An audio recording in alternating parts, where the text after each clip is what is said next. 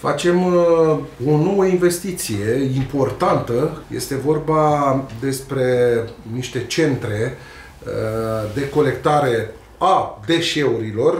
Denumirea corectă este centre de colectare prin aport voluntar. Ce se întâmplă?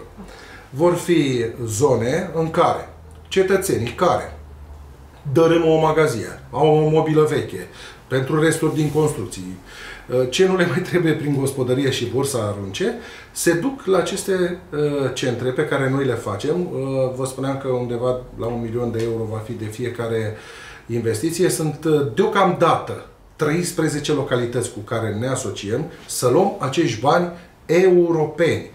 Ehm, așteptăm pe cei care au teren în, în Intravilan să vină și să stăm de vorbă, să depunem proiecte, pentru că noi, Consiliul Județean, ne-am asociat de-a lungul timpului cu multe localități din județul Vâlcea să luăm bani. Am luat noi singuri Consiliul Județean, dar ne-am și asociat cu localitățile să luăm bani europeni.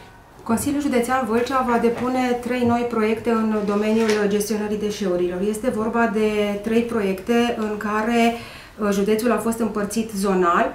Uh, fiecare dintre ele va cuprinde mai multe centre de uh, aport voluntar. Este vorba de centre de colectare a deșeurilor în care populația județului va putea să meargă în cele 13 localități unde aceste centre vor fi construite uh, și va putea uh, depozita fără costuri uh, tot ceea ce înseamnă deșeuri provenite din gospodăria proprie, de la deșeuri electronice mici, deșeuri textile, deșeuri de mobilier voluminoase, până la deșeuri provenite din construcții, deșeuri de reciclabile, sticlă, hârtie și așa mai departe.